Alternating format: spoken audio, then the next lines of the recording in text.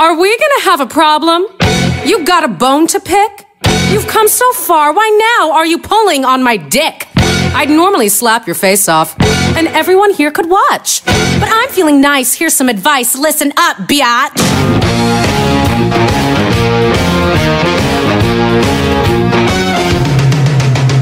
I like Looking hot, buying stuff they cannot. I like Drinking hard, dad's credit card. I like Skipping gym, scaring her, screwing him. I like Killer clothes. kicking nerds in the nose. If you like the balls, you can go play dolls. Let your mommy fix you.